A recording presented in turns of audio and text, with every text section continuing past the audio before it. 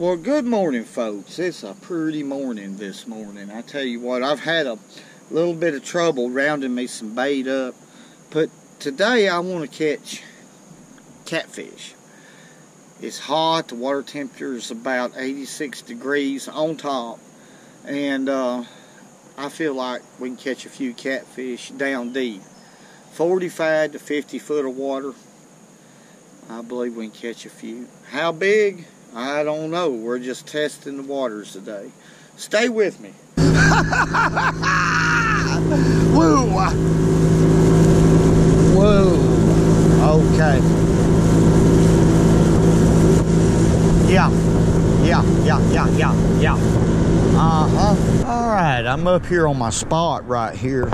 It is uh 54 feet of water. I said 50 foot, but it's 54 foot right here. It's right on the side of the Tennessee River, these columns are. And uh, I'm going to tie up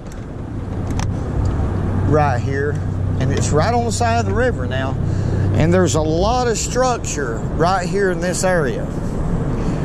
Uh, rocks and probably concrete from them building this bridge.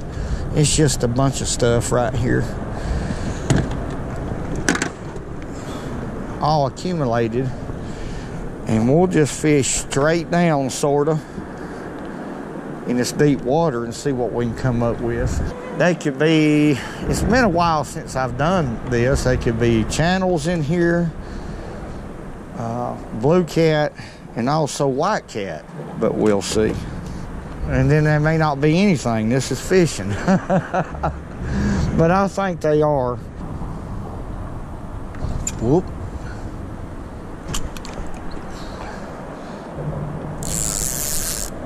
First fish of the day. Now, out this real, real deep water like this, I bring these fish up real slow, even the small ones. Now, this is a small catfish right here.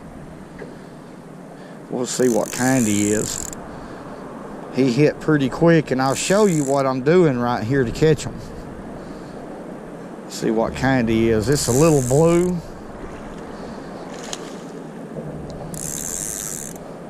Little blue cat. Come on in here. now that's a pretty little old fish, and now these is good eating. This size. I don't need but five or six of these probably. But that's a baby blue quit. And I'll show you a good way to catch them right here in the summer that's a good eating size. Now, if you're going to eat catfish, there he is. There's the size. Got him on ice right there. Let's get a, a couple of these out and I'll show you. Okay. I've just got a three quarter ounce weight right here with a swivel and a leader about 16 inches.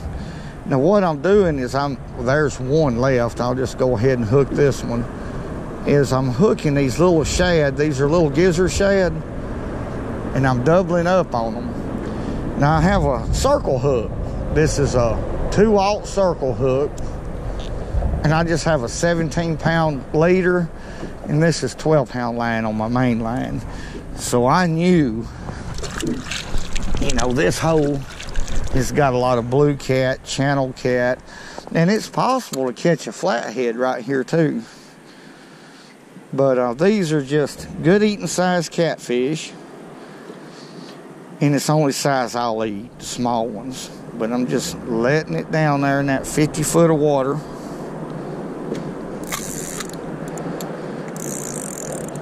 Now the the weight's on the bottom, but I'm to barely pick the weight up. And I'm taking a chance right here. and I'm to wait for the bite and it shouldn't be long. We're right on the edge of the river right here. And these fish is, is gonna definitely in the summertime they're gonna go right around right on the break line of the river. And they'll come through here in small schools. So, the, so you'll have a void period where you're not catching them, and all of a sudden they'll come through and you'll catch them. A few of them. But what's holding these fish is the structure right here in front of me. When they do come in here, they'll mill around a little bit before they go on. So it's a good place for fish just to run. Uh, just because I'm using, let me add this fact, these small shad like this, it don't mean that they're all going to be little. I mean, a big one could come through here, no doubt, and grab them little baits. You never know about catfish. I'm going to throw this big shiner out right here on the... Well, let me catch this fish first, folks. Eating size. That's what we want. See what cut, what kind. Look now. Look right here. Now we're gonna let this one go right here. I was just talking about flathead. look at this. now is that not a pretty little flathead catfish? There's no way. That is pretty. Now right here on this hole, I think it was in 2000 it was either 1999 or 2000. That's how long it's been since I've been to this hole. I caught a 48 pound flathead right here. So that's the reason I'm going to put this big bait out here just to see. But there, look that little flathead. Now he was deep. Let's let him go. That's pretty. There he is. Now that's what you call a baby right there. But let's put this shiner out right here.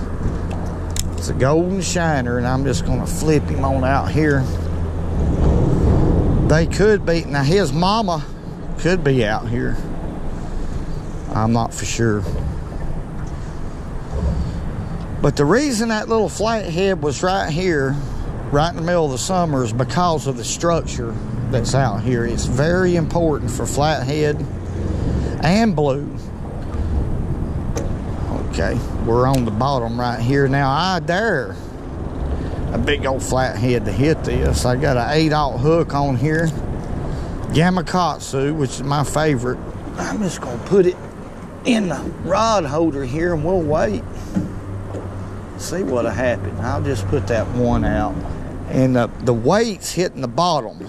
Just boom, boom, boom, like that and that'll call if there's a big flathead in here or a blue that'll call one in right here on the edge of this creek or river excuse me. All right let's get rebaited up right here and let's catch another one. There we go.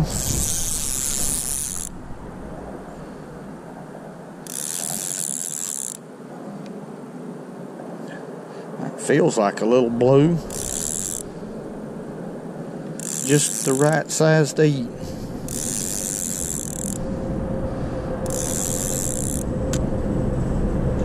No, it's the drummer, the music maker.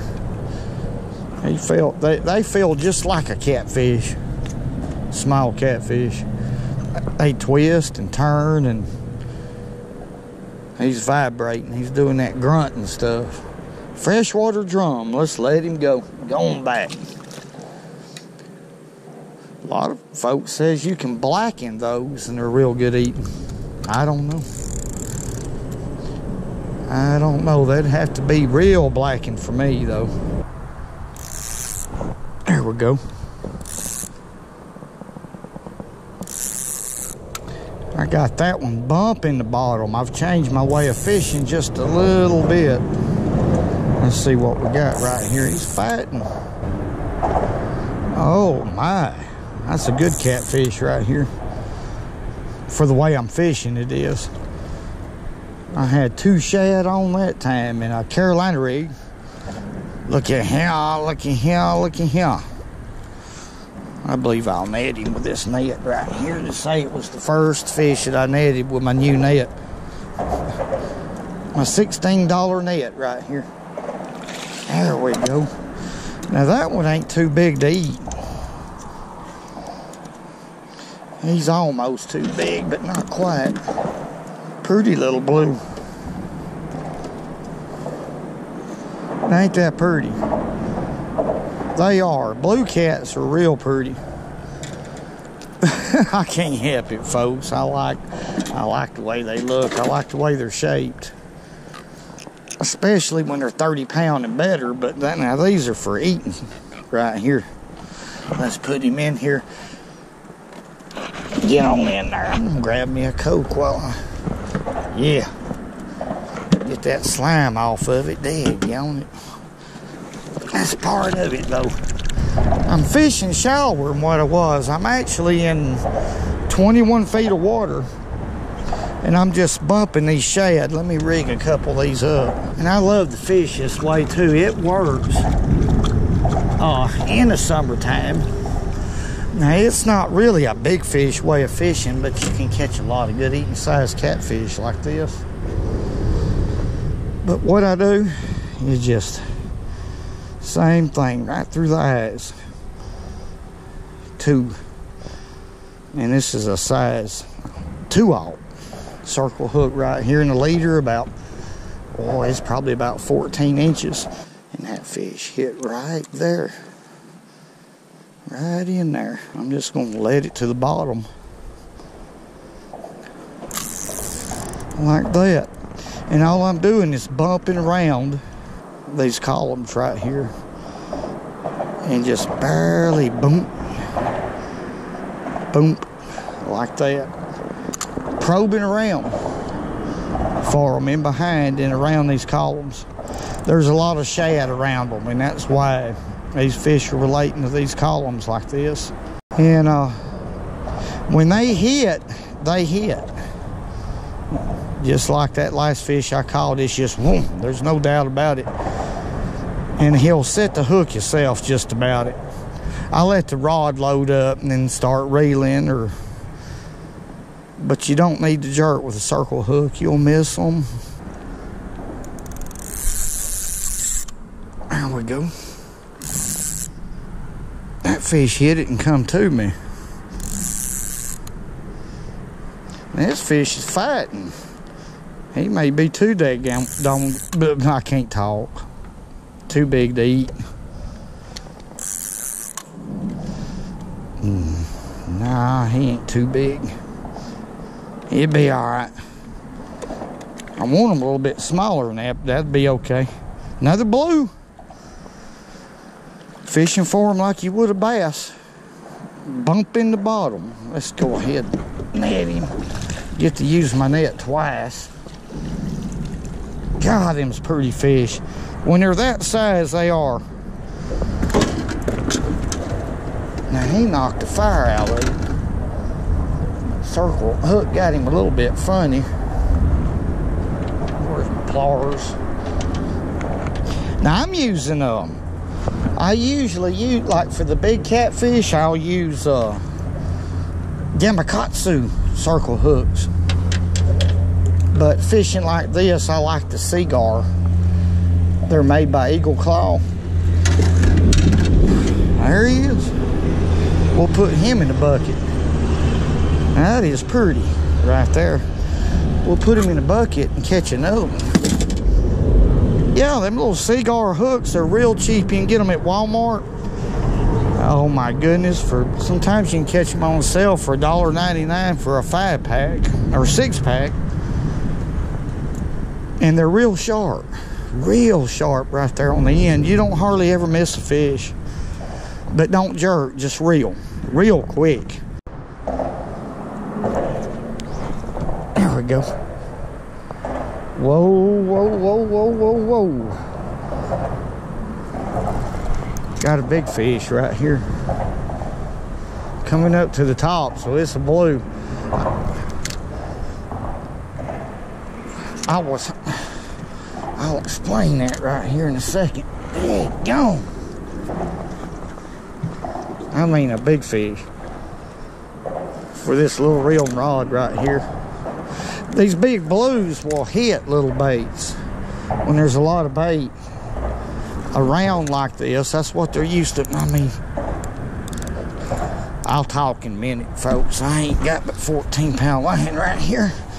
I was fixing to tie me another leader because I broke off on the other rod and I, I put two shad on this one And I was going to fish that column just a little bit more, and I was going to move to the other side of it. And this happened. It's a big one. Too big to eat. We're going to let this one go right here. If he don't break my line, I will, but I'm just going to take my time. They're mean. See them air bubbles?